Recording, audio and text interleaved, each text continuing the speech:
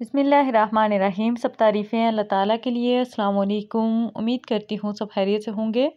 आज की ये वीडियो भी बहुत ही इंपॉर्टेंट और इन्फॉर्मेटिव होने वाली है। काफ़ी लोगों की रिक्वेस्ट आ रही थी कि अपनी बच्चियों को यूके भेजना चाहते हैं स्टूडेंट वीज़ा पे। क्या यूके उनके लिए सिक्योर है? क्या वो अकेली यूके में सरवाइव कर लेंगी? तो आज की इस वीडियो में मैं कुछ ऐसी रियलिटीज़ आपके साथ शेयर करने वाली हूँ। हो सकता है बहुत से लोग मेरी राय से अग्री ना करें, लेकिन मैं ख़ुद भी एक बेटी भी हूँ, बहन भी हूँ वाइफ भी हूँ और और माँ भी हूँ। तो as a human being as a women मेरा फ़र्ज़ है एज़ अ पाकिस्तानी कि मैं आपको यहाँ की सिचुएशन से आगाह करूँ। बहुत से पेरेंट्स इस हवाले से काफ़ी कंसर्न भी हैं, हो सकता है मेरी वीडियो देखने के बाद किसी की बच्ची की ज़िंदगी जो है वो बदल जाए। तो वीडियो एंड तक देखिएगा। मैं ख़ुद भी, मेरा मकसद किसी को यूके आने से रोकना नहीं, ना ही किसी के लिए रुकावट पैदा करना है। मैं ख़ुद डिफरेंट वीज़ाज़ बताती हूँ डिफरेंट वेज़ बताती हूँ लोगों को यूके आने के लिए कि ये वे यूज़ करें और इस तरीके से इस वीज़ा पे आप यूके आ सकते हैं। सो आपको आज की इस वीडियो में मैं सिर्फ़ बच्चियों के हवाले से बताऊँगी कि जो बच्चियाँ अकेली यूके स्टूडेंट वीज़ा पे आती हैं क्या क्या सिचुएशन फेस करती हैं और क्या उनको अकेले यूके आना चाहिए या नहीं आना चाहिए? सो so, अगर आप जानने में इंटरेस्टेड हैं तो वीडियो एंड तक देखिएगा ताकि कोई भी इंपॉर्टेंट चीज़ स्किप ना हो सके। चैनल पर अगर फ़र्स्ट टाइम विज़िट कर रहे हैं तो चैनल को सब्सक्राइब कर दें ताकि आने वाली हर नई वीडियो का नोटिफिकेशन आप तक पहुँच सके। तो आते हैं अपने टॉपिक की तरफ़। यूके एक ऐसा कंट्री है जहाँ पे ओवरऑल पूरी दुनिया से स्टूडेंट आते हैं। स्टूडेंट वीज़ा इसका काफ़ी फ़ेमस वीज़ा है और इसकी वजह यह है कि एक तो स्टूडेंट वीज़ा की रेशो बहुत अच्छी है as compare to other visas दूसरे नंबर पे इसकी जो स्पेशली मास्टर्स के लिए स्टूडेंट्स आते हैं, उनको वन ईयर मास्टर्स जो है वो प्रोवाइड करता है। इसीलिए लोग प्रेफर करते हैं यूके को कि यूके में एजुकेशन के लिए हम अपने बच्चों को भेजें।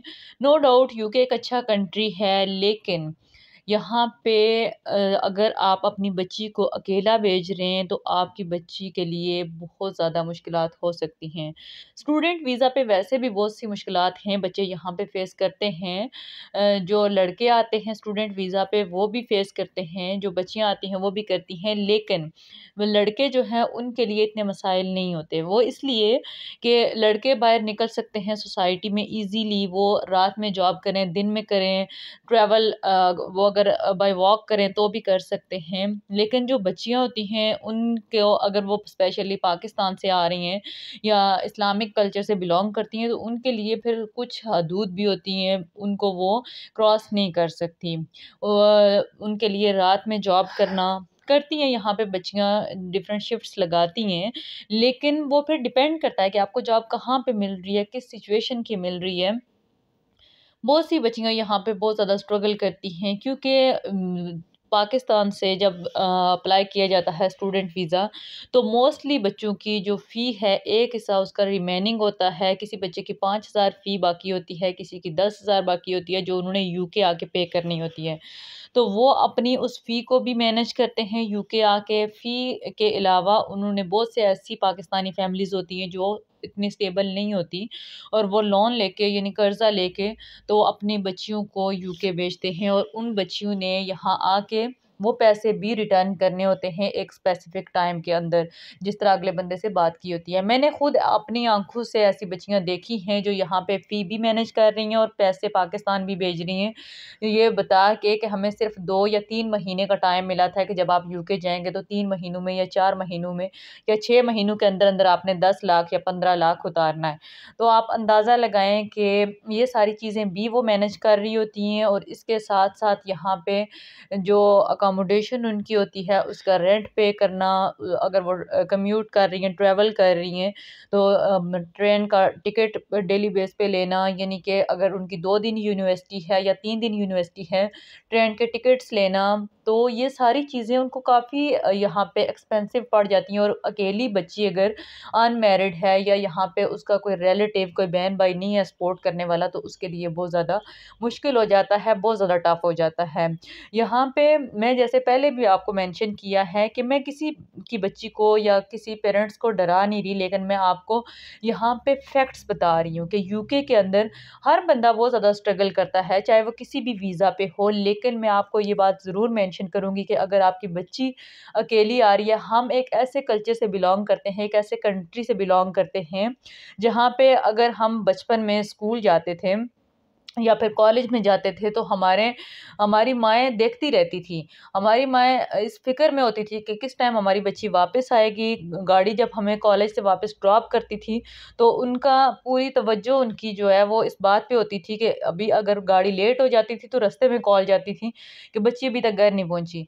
भाई जो है वो स्टॉप पर होते थे लेने के लिए। हमारे जो वालिद हैं वो हमें ड्रॉप करते थे स्टॉप पर जहाँ से हमें गाड़ी पिक करती थी।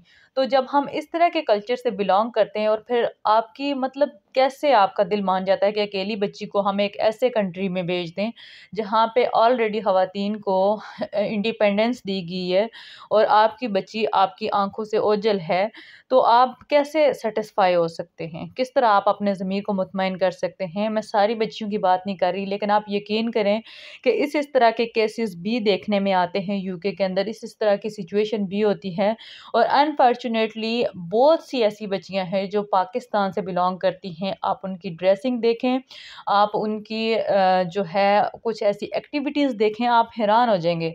आपने, आप सिर्फ़ वहाँ पे बैठ के मल्टीप्लाई करते हैं, यहाँ के एक पाउंड को पाकिस्तानी रुपीज़ में तो आप सोचते हैं कि आपकी बच्ची लाखों कमा रही है, हमारी बच्ची मंथली इतना कमा रही है। लेकिन आप ये नहीं सोचते कि वो पैसे कमा कैसे रही है? किस किस स्ट्रगल को वो फेस कर रही है और किस किस तरीके से कमा रही हैं? बहुत सी बच्चियाँ हैं जो अच्छी भी हैं, यूके के अंदर आके भी अपने लिमिट्स को नहीं भूलती। बहुत सी बच्चियाँ हैं जो एक बड़े फेयर तरीके से चल रही होती हैं प्रॉपर तरीके से चल रही होती हैं। लेकिन अगेन से मैं आपको बता रही हूँ कि बहुत सी बच्चियाँ ऐसी भी हैं जो पा, पाकिस्तान से जब यहाँ पे आती हैं वो भूल जाती हैं कि वो कहाँ से बिलोंग करती हैं उनका क्या कल्चर था कि, किस मज़हब से किस रिलीजन से वो बिलोंग करती हैं ऐसी ऐसी एक्टिविटीज़ कर रही होती हैं। सो so, मेरा मकसद ये है खुदारा अपनी बच्चियों को अगर आपने भेजना है उनकी शादी करके भेजें। ताकि एटलीस्ट आपकी बच्चियाँ सेफ़ तो हों या फिर किसी और वीज़ा कैटेगरी पे भेजें जहाँ पे वो अपने हस्बैंड के साथ आ सकें या उनका कोई यहाँ पे भाई मौजूद हो कोई कोई ना कोई जो उनको सपोर्ट कर सके। अगर वो आप सोचें कि वो बिल्कुल अकेली हम अपनी बच्चियों को भेज देंगे और हमारी बच्चियाँ सेफ़ हैं या हमारी बच्चियाँ जो है वो आ, उनको स्ट्रगल नहीं फेस करनी पड़ेगी कुछ ऐसी फैमिलीज़ होती हैं जो काफ़ी स्ट्रॉन्ग बैकग्राउंड से होती हैं जो फीसिस बच्चियों की सारी पे कर देती हैं। बच्चियाँ यहाँ पे आती हैं सिर्फ़ स्टडी के लिए। स्टडी करती हैं, उनको इतना कमाना नहीं पड़ता, बाहर उनको धक्के नहीं खाने पड़ते और वो स्टडी करके एक साल या आगे भी अगर वो रहना चाहें तो यूके में रहती हैं। उनको फाइनेंशियल सपोर्ट मिल रही होती है। लेकिन जिन बच्चियों को फाइनेंशियल सपोर्ट नहीं मिल रही होती, जो बच्चियाँ खुद आके यहाँ पे अर्न भी करती हैं, अपनी स्टडी भी करती हैं, पाकिस्तान में भी पैसे भेजती हैं, उनके लिए बहुत ज़्यादा मुश्किल हैं, बहुत ज़्यादा स्ट्रगल है अगर वो अकेली हैं, उनको कोई सपोर्ट करने वाला नहीं है। आप यकीन नहीं करेंगे, मैंने एक वीडियो पहले भी बनाई थी और उसमें मैंने एक दो इंसिडेंट बताए थे कि यहाँ पे बच्चियाँ क्या क्या चीज़ें फेस कर रही हैं। लेकिन अगर आप फिर भी ना समझें तो फिर आपकी अपनी ना समझी है या फिर मैं क्या बोलूँ, क्या कह सकती हूँ? लेकिन फिर भी मैं as a human as a Muslim मैं आपको ज़रूर ये बोलूँगी कि अगर आप अपनी बच्चियों को भेज रहे हैं यूके के अंदर, या तो उनके जो है फाइनेंशियल सपोर्ट करें प्रॉपर तरीके से। अगर आप फाइनेंशियल सपोर्ट नहीं कर सकते उन्होंने खुद आके यहाँ पे चीज़ों को मैनेज करना है तो उनके लिए बहुत ज़्यादा मुश्किल हैं यूके में। अकेली बच्चियों को ना भेजें। पहले फिर यहाँ पे यूके के अंदर रूल्स भी कुछ इतने ज़्यादा स्ट्रिक्ट नहीं थे, लेकिन अब रूल्स भी यहाँ पे बहुत ज़्यादा सख्त कर दिए गए हैं और जब ये सारी सिचुएशन होती है, बहुत सी बच्चियाँ जो आप यकीन करें स्ट्रेस में होती हैं यूके के अंदर स्ट्रेस में हैं स्लीपिंग पिल्स लेती हैं। क्यों?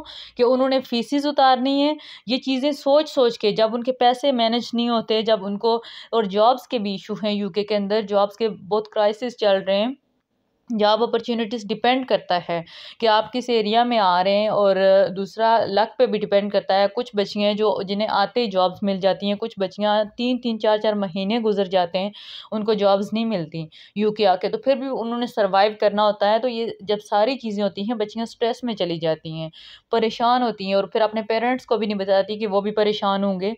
सो बहुत से कॉन्सिक्वेंसेस हैं जो बच्चियाँ अकेले फेस कर रही होती हैं। बहुत सी बच्चियाँ अच्छी भी हैं यूके के अंदर, जो पाकिस्तान से आके यूके में अच्छे तरीके से रहती हैं, लेकिन बहुत सी बच्चियाँ जो हैं, अब ये तो यूके तो फिर दूसरा कंट्री है। मैं कहती हूँ कि अगर हम बच्चियों को देखें पाकिस्तान के अंदर, अभी आजकल जो चल रहा है टिकटॉक पे, आप अंदाज़ा लगाएँ लाइव जो बच्चियाँ बैठी होती हैं, उनकी ड्रेसिंग देखें। दुख होता है ये देख के, ये सोच के कि हम पाकिस्तानी हैं। ऐसे ऐसे सिटी को वो रिप्रेजेंट कर रही होती हैं। तो ऐसे लगता ही नहीं कि ये इस्लामिक कंट्री से बिलोंग करती हैं। मैं कहती हूँ कि उन बच्चियों की माएँ कैसे वो सो जाती हैं पुरसकून तरीके से? कैसे उनको नींद आ जाती है ये सोच के कि हमारी बच्चियाँ क्या क्या कर रही हैं? ये आजकल के आज़ाद ख्याल माँ बाप हैं जो अपने बच्चों को इतनी इंडिपेंडेंस दे रहे हैं, जो ये सोचते हैं कि हमने अपने बच्चों को इंडिपेंडेंस दी है इतना कॉन्फिडेंस दिया है जैसे चाहें वो जिए, जैसे चाहें वो अपनी ज़िंदगी गुजारें। तो वो समाइम बच्चे जो है, वो उसका मिस करते हैं। अब क्या समझते हैं कि जो बच्चियाँ टिकटॉक पे लाइव बैठी होती हैं, उनको, उनके पेरेंट्स नहीं देखते? बिल्कुल देखते हैं, लेकिन इसके बावजूद खामोश हैं। सो अगर पेरेंट्स इस तरह के काम करेंगे तो उनकी बच्चियाँ अगर पाकिस्तान में इस तरह के काम हो रहे हैं तो फिर वो सोचें कि वो यूके आके क्या कुछ करती होंगी। सो so, खुदा रहा कि आपने अगर अपनी बच्चियों को भेजना है शादी करके एटलीस्ट भेजें ताकि उनको एक तो कोई उनको सपोर्ट करने वाला होगा दूसरा ये होगा कि उनका ईमान भी बचेगा उनका दीन भी बचेगा और वो हिफाजत में भी आ जाएँगी। ऐसा नहीं होगा कि हर टाइम किसी चीज़ का ख़तरा है कि हमारी बच्चियाँ पता नहीं क्या कर रही होंगी कहाँ पे होंगी किस तरह कमा रही होंगी कौन सी स्ट्रगल्स फेस कर रही होंगी। सो होपफुली आज की ये वीडियो आपके लिए हेल्पफुल होगी। वीडियो अगर अच्छी लगे तो लाइक एंड सब्सक्राइब कर दें। फिर हाजिर होंगी इन एक नई इन्फॉर्मेटिव वीडियो के साथ। बहुत सी दुआओं में याद रखिएगा। अल्लाह हाफिज़।